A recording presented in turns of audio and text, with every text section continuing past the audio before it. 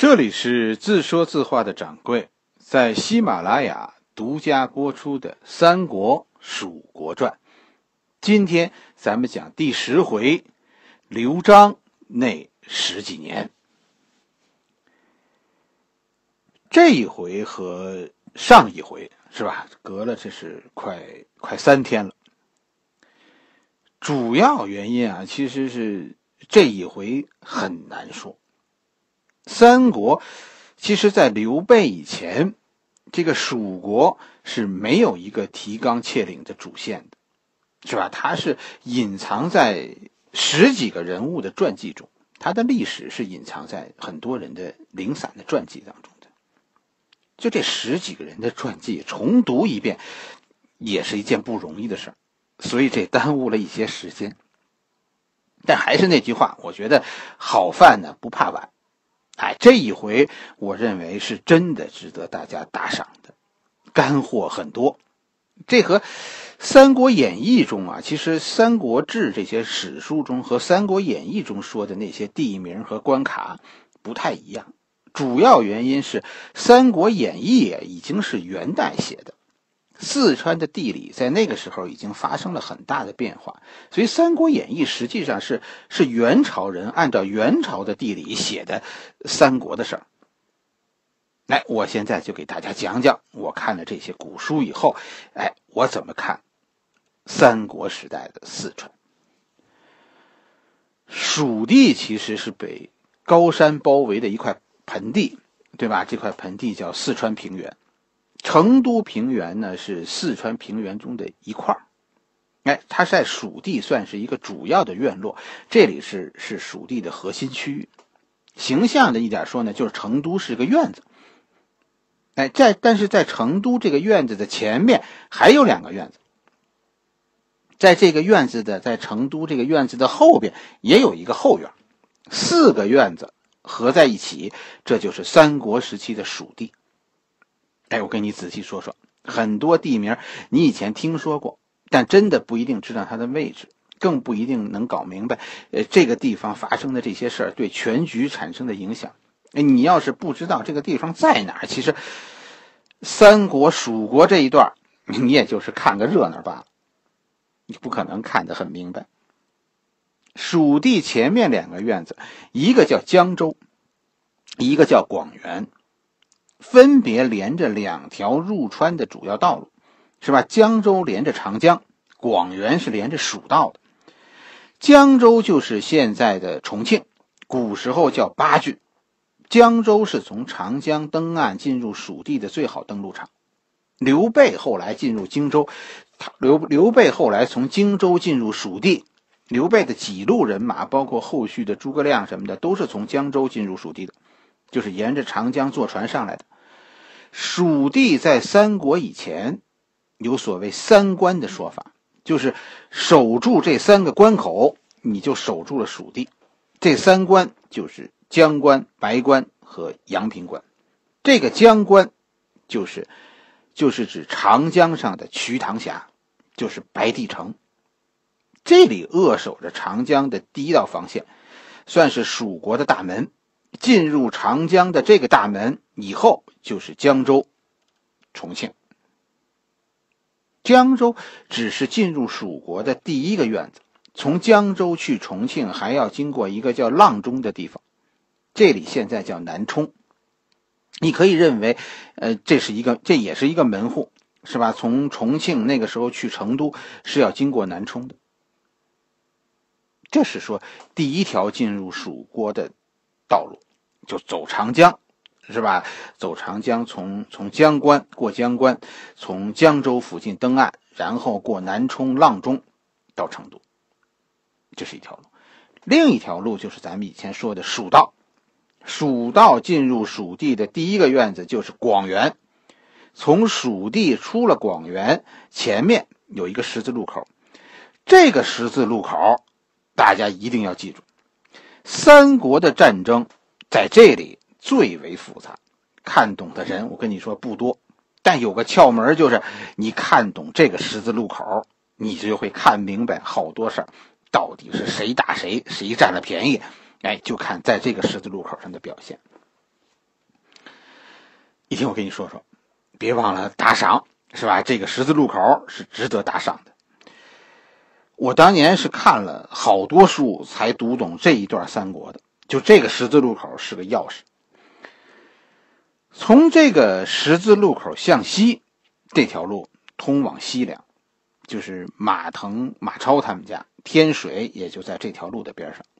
这条路上，在靠近十字路口的位置有个关口，叫白水关。白水关在后来的故事中呢，出现不多了，因为大概啊，现在说是到了唐代的时候，白水关因为地质变迁。这个地儿被河水淹没，现在就没有这个地方了。但是在当时，这是蜀地的三个主要关卡之一。白关就是白水关，江关是瞿塘峡白帝城，是吧？哎，白关就是这白水关，它是守着去西凉这股道的。在这个路口向西是西凉白水关，从这个路口向北。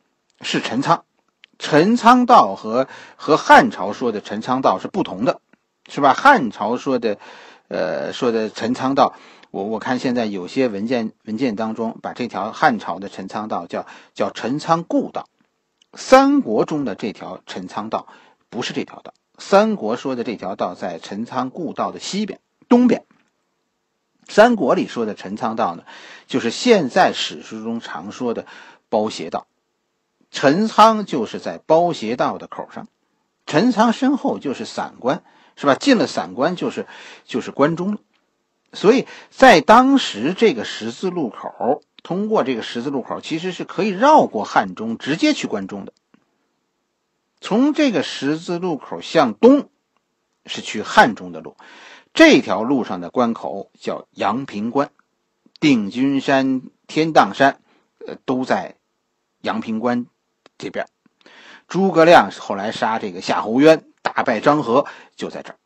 这个关在三国里，它不算是蜀地的关口，它算是汉中的门户。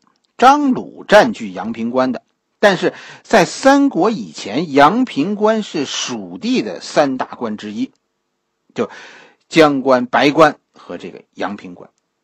十字路口，咱们现在讲了三个了，从这个十字路口去西凉。去关中是吧？去去汉中，十字路口的最后一个方向就是去蜀地的，向南，这就是去蜀地。去蜀地的路上也是一个关口，这个关口就是嘉门关。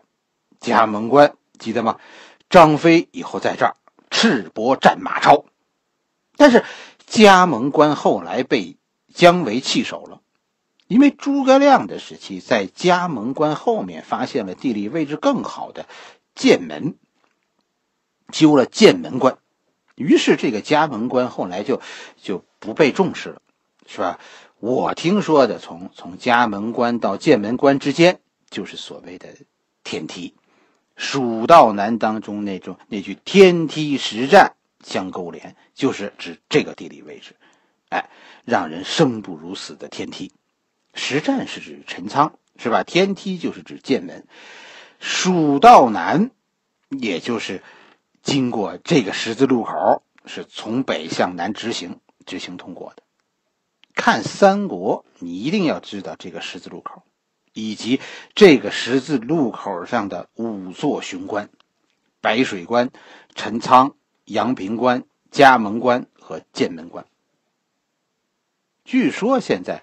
嘉门关和白水关都已经不存在了，但是阳平关和剑阁都在，是吧？我夏天是是准备去这两个地方的，走蜀道，从这个十字路口向南，是吧？过了剑门关就是广元，从广元去成都要经过一个关卡，这个关卡叫绵竹，绵竹和南充其实算是成都的门户，是吧？你站在蜀人的角度。要出川是两条路，一条翻山走绵竹，然后出剑门关，哎，去汉中，然后坐船顺江而下去去南阳，或者是从十字路口直行，穿过陈仓去西安。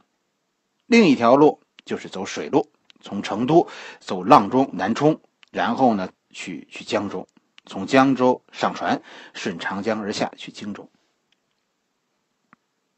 而且啊，从史书中我们看到，从广元到阆中之间，南充之间有一条路，哎，这条路上有个著名的关口，这个关口叫瓦口关。所以，阆中这个地理位置非常重要，甚至于，其实阆中啊，你看是整个蜀地的军事中心，从这儿啊可以可以增援广元，同时扼守着从江州去成都的道路，哎，还可以向东走，从巴中翻越大巴山，走所谓的米仓道，然后进攻汉中。张飞以后被刘备就安排在阆中驻军。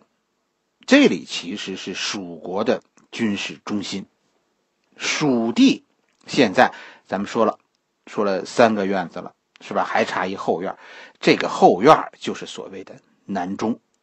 诸葛亮后来七擒孟获，就是平定南中，南中是蜀地的后院。这是我看了十几个人的传记以后总结出来的蜀地的地理，是吧？咱们现在再说说。我看到的蜀国的经济，蜀国一个最大的优势其实就是地理封闭，而自然环境呢又又特别好。当然说热是个问题，是吧？这个咱们夏天去可能可能会会很辛苦啊。我们对这个有有思想准备，是吧？四川的热是湿热，四川不缺水。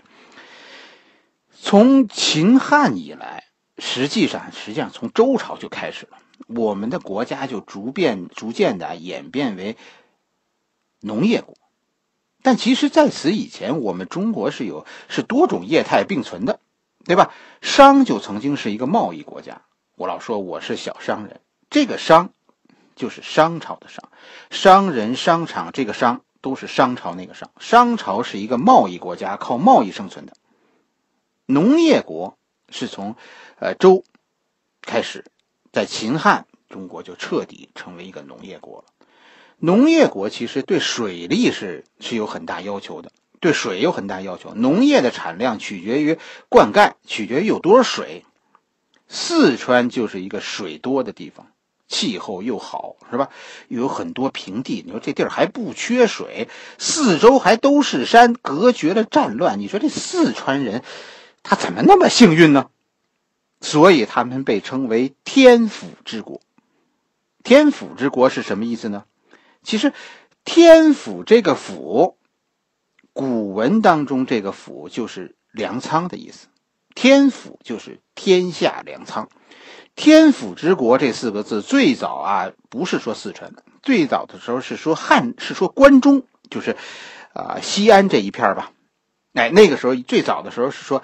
周朝的时候都是说西安这一片是天府之国，后来才被指四川。四川反正是个好地方。四川的粮食是没有问题的。哎，既然粮食没有问题，后来诸葛亮为什么总是因为粮食问题而不得不撤军呢？是吧？你看，你看诸葛亮以后出祁山啊，都是因为粮食问题而被迫撤退的。四川粮食很多，但运输是问题。所谓的蜀道，其实很多段都是不通车的，牛马都上不去，只能靠人一步一步往上爬，靠人背。另一个问题，我跟你说，就是咱们常说的“蜀人多变”。蜀人多变这句话，是站在咱们中原人的角度去看这件事儿。我们觉得蜀人问题很多，是吧？当初你让我们入川的，是吧？现在。你又赶我们走，你们到底是什么想法？那，这是咱们说说蜀人多变的一个根据。但实际上，咱们说过了，是吧？蜀人其实始终是一贯的，是我们这些中原人表错情了。所以，三国以前所有的政权，我们津津乐道的都是外来人、外来蜀地的政权。蜀人当家做主的那些时代，我们都懒得记录。实际上，多数时间，蜀地是蜀人管理的，有个有个把说像西简那样的那样的地方官，但但是基层组织都是蜀人管理的。所以诸葛亮当年遇到的最大问题就是无人可用，几百万蜀人，但但《出师表》里你看，诸葛亮却哀叹时间不等人呐。这一茬跟着我们进川的人死光了，我们就走不出四川了。这个事情是你一定要明白的。听西蜀、听西川的事情，你一定要搞明白四川的地理环境。所谓咫尺天涯。而另一方面，你一定要明白，很多事情你看着奇怪，其实是因为人心的隔阂。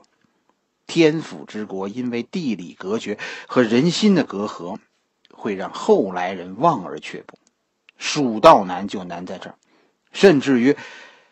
蜀道难，告诉你了，人心的隔阂甚至超过蜀道的艰难。最后不是又回来了吗？那个人，刘璋的西川之路，其实历史上讲的很少。我们只知道西川维持着和东川之间的战争，但是双方谁也打不过对方的关口。是蜀人打不进阳平关，而汉中人呢，汉中人也打不进嘉门关。所以，从蜀地到关中的道路就时断时续，就看谁占领这个路口了。这十几年，史书上只是说，在这个十字路口口上啊，两拨人不断的斗殴，导致这个路口经常拥堵不通车。刘璋是在一百九十四年（公元一百九十四年）接管的蜀地，到二百年是吧？杀杀赵伟，刘璋才真正掌权。一百九十五年的时候，就是刘璋掌权的第一年。那时候刘璋还被赵伟忽悠呢。在一百九十五年，中原发生了一件大事，就汉献帝趁着李傕郭汜大战，是吧？居然从从西安逃跑了，跑出函谷关，然后呢，然后要求天下诸侯秦王。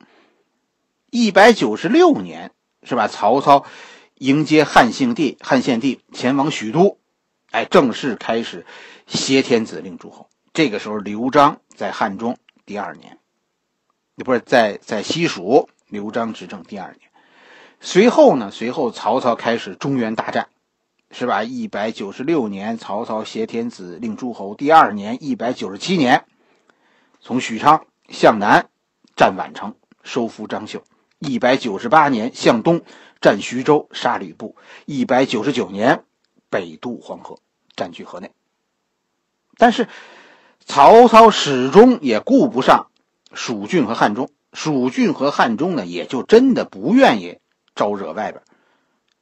到二百年，公元二百年，刘璋说了算的时候，就开始一门心思的搞搞东周，搞东周人的，就搞这个这个西川的本地化了。哎，试图刘璋试图融入西川，实际上就是在搞蜀人治蜀，就根本那个时候就就再也不管天下事，一门心思就就扎在蜀地了。公元二百年，咱们说了，刘璋杀赵伟的时候，这个时候在西川以外在发生什么呢？公元二百年，曹操在打官渡之战。此后，从二百年以后，曹操开始远征乌桓。二百零八年，曹操战胜返回，哎，这就开始进攻荆州的刘表。赤赤壁之战的序幕由此拉开，就是到公元二百零八年。这一段时间，西蜀发生的事情，其实我手边的记录非常少。哎，有谁要是有的，可以补充我一下，只是很零星的一些。你比如说，一百九十八年、一百九十九年，南阳的混乱，曹操这不是占据宛城了吗？曹操占据宛城，并没有给南阳带来安定，反而引发了南阳这个地区持续的混乱。史书中记载，就是这个时候，有一批南阳人因为动乱进入蜀地，这就是法正、孟达这一批人。法正是个大才，但是那个时候的刘璋没有重用他。刘璋那个时候重用的都是四川本地人，甚至东周军都开始逐渐解散了，取而代之的是是一批西蜀将领。你后来你看吧，就是说什么什么黄权呐，啊严颜呐，张任呐，你这些人都是都是西蜀本地人。东周系其实现在被边缘化了。你要明白，老一代东周人他们现在是不满刘璋的。我们是跟着你爸闯下的这片江山，两次内战，一次平灭贾龙，一次平灭赵伟，死了多少东周军呢？是吧？你个黄牙小儿，你现在这么做，你是忘本呐！对于新一代的东周人，就是法正他们这一代，那更是不满，是吧？我们是慕名而来，我们现在可是我们现在在在在西川，我们没出路啊！所以到达公元二百零八年的时候，就赤壁之战爆发的前夕，刘璋这个时候在西川已经执政了十四年。是吧？西川又回到了他老爸之前的样子。实际上，你可以说，这一茬外来人在西川的统治，因为刘璋的改变而失败了。西川现在又回到蜀人治蜀的状态，一大批跟着刘焉来的东周人现在心怀不满，以后来的新东周人也是满怀愤懑。这就是大家嘴里的刘璋暗弱。他一个中原人，现在跟着西川人跑了。刘璋的所作所为，最后居然深受西川人的爱戴。但是东周人现在，跟你说，恨疯了他了。其实，大家想过一件事儿没有？就刘璋进西川以前，没有经历过刘焉所经历的那些动荡。他老爸带着带着东周人闯闯江山的时候，他和他哥哥还在西安当高干子弟呢。他进入西詹西川以后，一下子就当了益州牧。虽然说说东周军后来救过刘璋，是吧？可刘璋那一脑袋儒家思想，就刘璋对世界的判断，刘璋的脑子里就是他老爸编的课本教的，就根据刘璋读的那些书，很难认同他老爸东周军的所谓霸道。你要我要是按照课本践行人道，这个霸道是不能持久的。我估计这就是刘璋心里的想法。刘焉现在是在天庭上看着他儿子呀，是欲哭无泪呀。于是有了这么一个矛盾的刘璋。蜀人说这是一个大儒，你看历史吧，有人这么说，他是所谓的啊仁义之主。